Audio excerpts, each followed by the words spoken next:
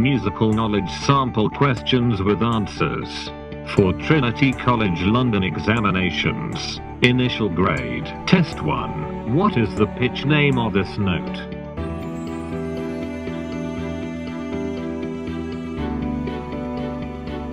How many beats are there for this note?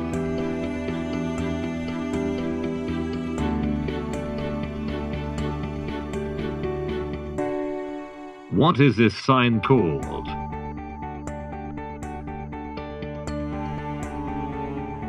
What is this called?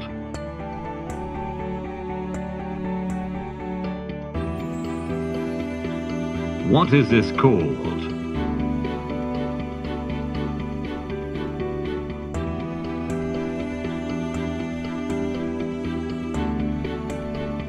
The examiner will first ask candidates to choose their favorite piece from the ones performed at the exam, and will then ask some of the questions on that piece.